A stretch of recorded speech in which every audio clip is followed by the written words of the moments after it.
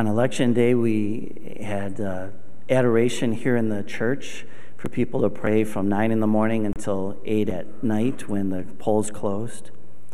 And so I was here in front of the Blessed Sacrament and, and kneeling in front. And uh, as it got closer to 8 o'clock, I, I just kind of remember just telling myself, it is finished. you know, here all of our efforts are done. And then I, right before I put the Eucharist back, I, I just kept re- reminding myself Jesus Christ is Lord. Jesus Christ is Lord. And I think that's what we all have to remember. Jesus Christ is Lord. When I was praying this morning, I looked out and there's birds on my bird feeder. They're still there.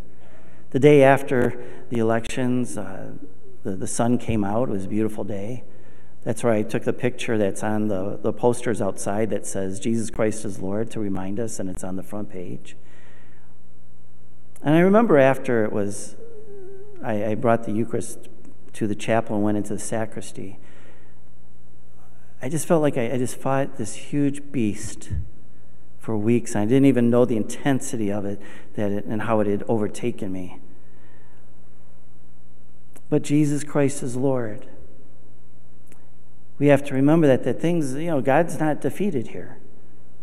And he doesn't mean that we can't grow from this and God can't make good out of it.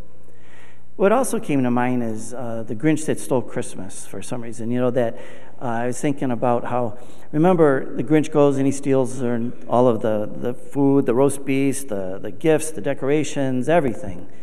And so he's thinking that all the people of Whoville, that they're all going to wake up in the morning and just start crying. But then they came out in a circle and started to sing because they knew what was the truth of that day. Not what had happened or so, but the truth of the day. And that's what we are. And I, I was kind of thinking, I hope that we can be like that. That even though, you know, this proposal three had passed, that we can still remember that Jesus Christ is Lord. That we would be like the people in Whoville, gathering around Jesus as the resurrected Christ, the one who, you know, died on the cross, the only one who was born, lived, died, but then rose again saying that He is Lord. And we have to remember that always. Not to lose hope, but He is Lord. And He tells us that in today's gospel when He's talking about the, the temple. You know, in other parts, He goes and He says, I will destroy this temple in three days, I'll build it up. And He's not talking about the temple, He's talking about Himself. But can you imagine what it must have been like for these people when they heard, especially His disciples, that this will be torn down? See, it was the most beautiful building probably anybody had ever seen. I mean, a lot of people just came, come from humble, you know, uh, domiciles and that, and little villages and that. They come to Jerusalem. You see this huge, big, you know, building, and it's adorned with stones and votives, and and this is a place where. Not, not just because it was a beautiful building, but this is where the Jewish people, the faith, had said that this is where God resides. This is where He is. And so when people came to the temple, it's where divinity and humanity met at the temple. It was so important to them. It's where there was forgiveness, it was where there was sacrifice, it's where they were taught, they were given instruction from the temple. So the temple was a major part of this faith. And so you can imagine when Jesus says this, what, what are you talking about? But then when he rose from the dead, they understood. They were talking about him. So now he is the temple. He is where divinity and humanity come together. He is the one who gives instruction. He is the one who makes a sacrifice and gives forgiveness because Jesus Christ is Lord. And he proves that by his resurrection. Nobody else in the world, and, and has never been before and after, been born, lived, died, and then rose from the dead. He's Lord over time. He's Lord over everything. He created everything. All things are His. He designed it. And this is where, even in the, the opening uh, prayer here, was taken, it says, the author of all that is good. He is the author of all that is good. And we all said, Amen the author of all that is good. But do we make him Lord? And even our, our, you know, the Romans at that time when the Christians were saying, Jesus Christ is Lord, they knew what that meant and they were put into some fear because it's like, wait a minute, we've been brought up that Caesar is Lord, Caesar is God. Our government has this control.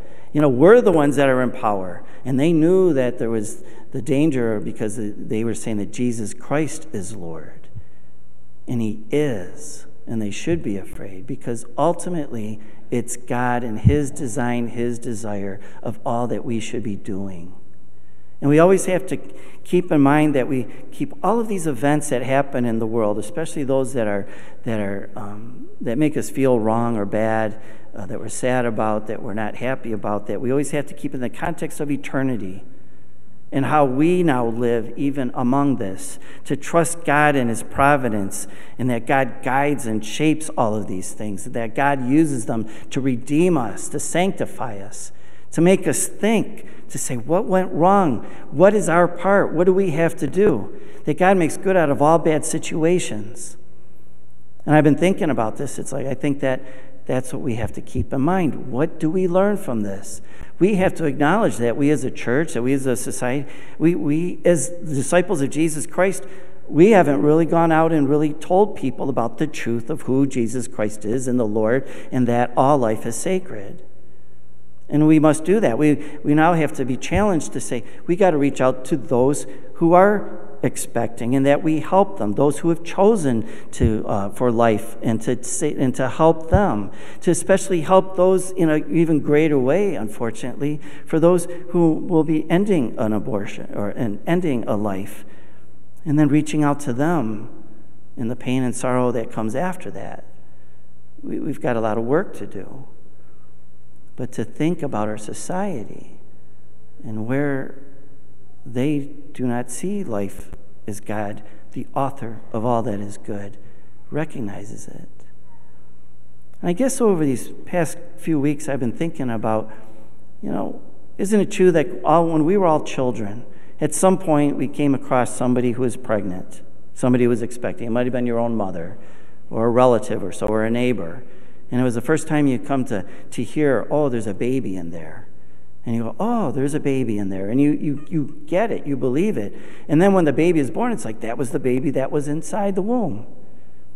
But then at what point, then, for those who are pro choice, at what point from that simple understanding as a child did you learn that it's not a life anymore, that it's not a baby?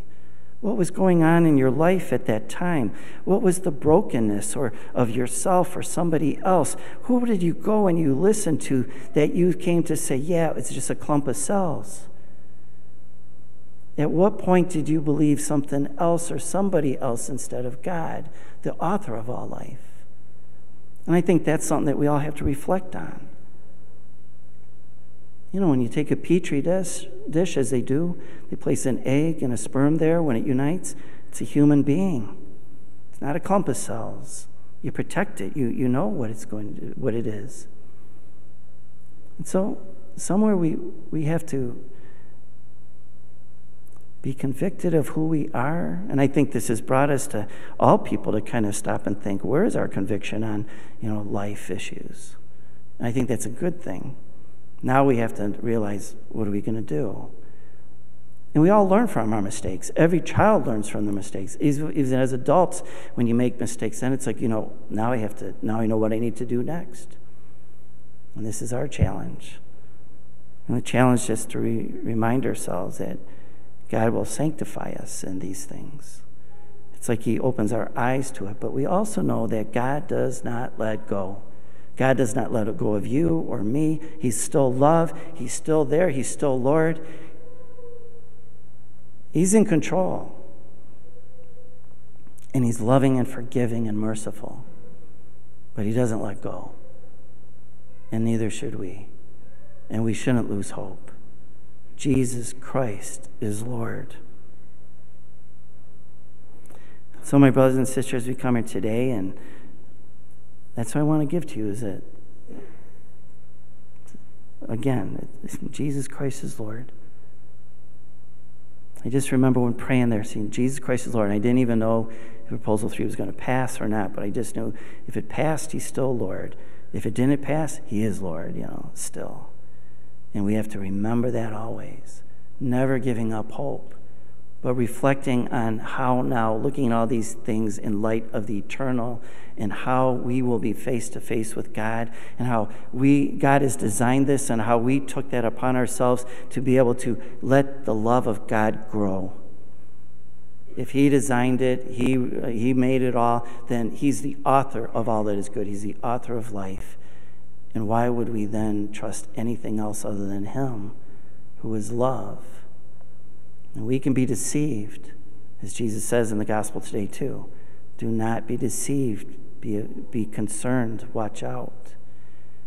And so I think ultimately, that's the good that comes out of this is that it makes us think and reflect and think where perhaps we say, well, Jesus Christ is Lord here, but not over here in our lives, when He is the author of all that is good. And we are to be His disciples, beloved sons and daughters who trust Him. And we pray that more and more now that we can trust Him and that we will trust Him and seek His will and His guidance. Because I'll be honest, it kind of makes me sad that I, I've heard that some people said that they won't come back to church until after the elections because they didn't want to hear my homilies or Father Jim. What makes you think that the church is here and has nothing to say or nothing to teach? Where did you shut off and why? Where's the brokenness? What did you hear that was not from the Lord? He's good, He's loving, He's truth. You can trust Him, and He's hope. Jesus Christ, my brothers and sisters, is Lord.